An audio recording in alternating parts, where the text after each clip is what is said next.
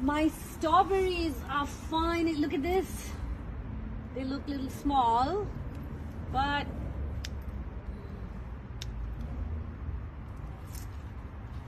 my mom, mama had planted these, and now look at this homegrown strawberries. I have some more here.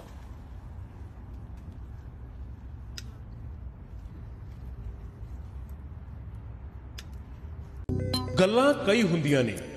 ਕੁਝ ਮਾਹੌਲ ਬਣਾਉਣ ਵਾਲੀਆਂ ਕੁਝ ਵਿਗਾੜਨ ਵਾਲੀਆਂ। ਕਦੇ-ਕਦੇ ਡਰਾਉਣ ਧਮਕਾਉਣ ਵਾਲੀਆਂ ਤੇ ਕੁਝ ਸੱਚ ਦੇ ਲਿਫਾਫੇ 'ਚ ਝੂਠ ਦੀ ਚਿੱਠੀ ਪਹੁੰਚਾਉਣ ਵਾਲੀਆਂ। ਉਨ੍ਹਾਂ ਨੂੰ ਪਤਾ ਲੱਗਣਾ ਚਾਹੀਏ ਕਿ ਮੇਰਾ ਨੇਤਾ ਕਿਹਦਾ ਹੋਗਾ ਅਜਿਹੀਆਂ ਗੱਲਾਂ ਹੁਣ ਹੋਰ ਨਹੀਂ ਕਿਉਂਕਿ ਆ ਰਿਹਾ ਹੈ ਸਾਫ਼ ਸਿੱਧੀਆਂ ਤੇ ਸੱਚੀਆਂ ਗੱਲਾਂ ਦਾ ਪਹਿਲਾ ਸ਼ੋਅ ਮੁਕਤੀ ਕਲ ਮੇਰੇ ਯਾਨੀ ਜਗਵਿੰਦਰ ਪਟਿਆਲ ਦੇ ਨਾਲ।